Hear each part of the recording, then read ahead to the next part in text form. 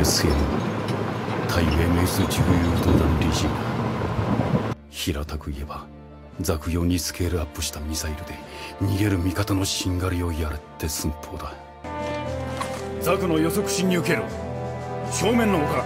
全分隊高速射撃準備。第一分隊は石垣の影。第二第四分隊は左翼。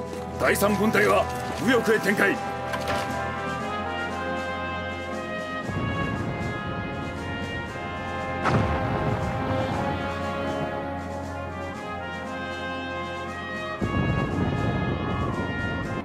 俺たちは待ち伏せのカードしか切れないことは分かってるだろう。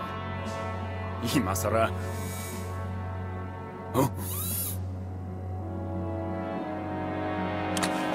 第四分隊聞こえているか？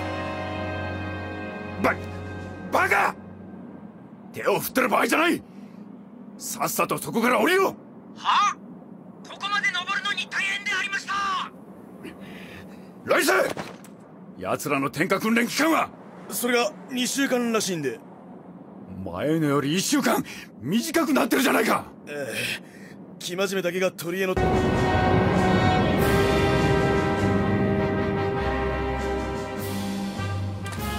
号令射撃準備各分隊対 MS 誘導弾直接照準セーフティーよしセーフティーよし。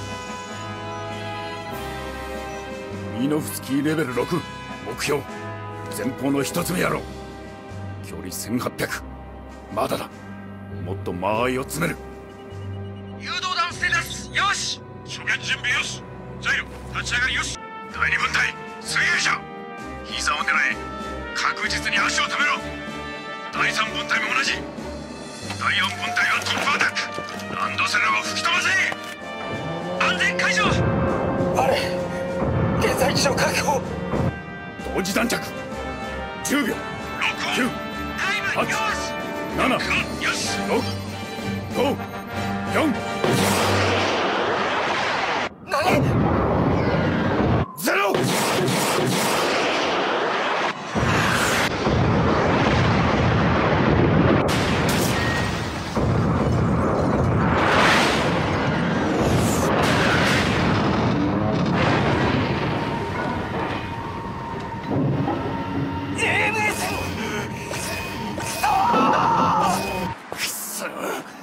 キルできず第3第4分隊交代しろ。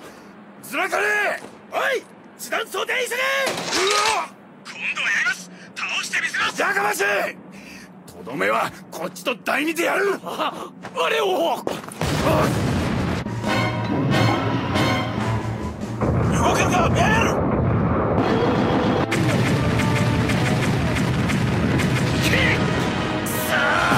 2機目が来やがった走りながらの射撃なんか当たりません。